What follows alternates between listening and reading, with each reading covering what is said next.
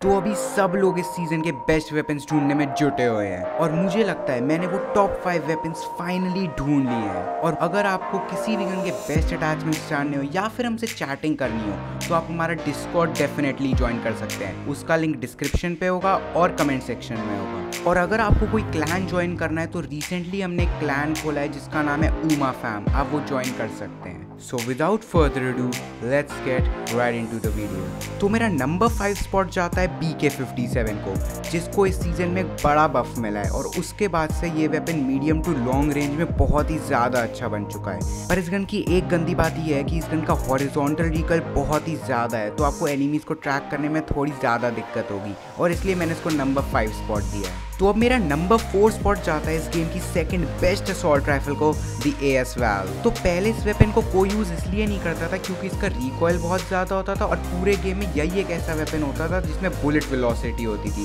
पर call mobile ने इसको इस सीज़न में बफ दे दिया, जिसमें इसका रिकॉयल बहुत ही ज़्यादा कम हो गया और इस गन की बुलेट वेलोसिटी भी बफ हो गई है। और उसके बाद से ये वेपन लिटरली एक लेज़र बन गया है और इसलिए ये वेपन हमारा नंबर फोर स्पॉट डिजर्व करता है। तो मेरा नंबर थ्री स्पॉट जाता है क्यू क्यू नाइन को। एक ऐसा वेपन जिसका क्लोज रेंज डैमेज बहुत ज़्यादा है मोबिलिटी बहुत ज़्यादा अच्छी है और रिकॉयल बहुत ज़्यादा इजी टू कंट्रोल है, जिससे ये वेपन बहुत ही ज़्यादा वर्सेटाइल बन जाता है। पर ये वेपन हमारा नंबर टू और नंबर वन स्पॉट से हर एक रेंज में आउट क्लास हो जाता है और इसलिए मैंने इसको नंबर थ्री स्पॉट दिया है। पर तब भी ये वेपन बहुत ज़्यादा अच्छा है। और अगर आपको इसके बेस्ट अटैचमेंट्स देखने तो आप हमारी ये वीडियो डेफिनेटली चेकआउट कर सकते हैं। तो अब मेरा नंबर टू स्पॉट जाता है इस गेम की बेस्ट असॉल्ट राइफल को।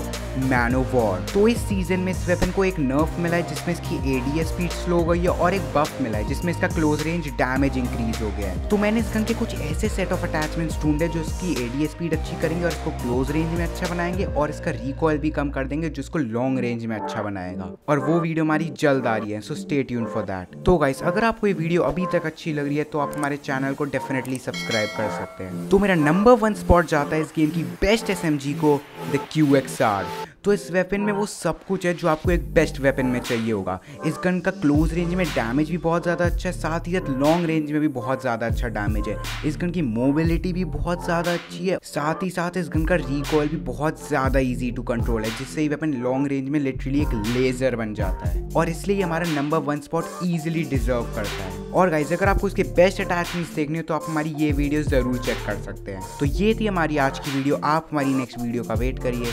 तब तक के लिए पीस आउट